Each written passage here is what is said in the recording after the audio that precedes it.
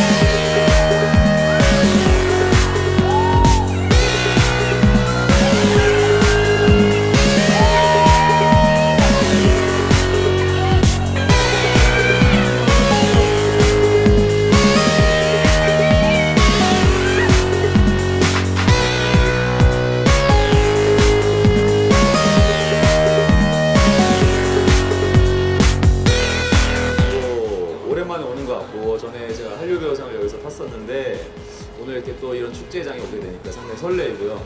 드라마의 축제인 만큼 어, 즐기다 가겠습니다. 네, 신납니다. 네.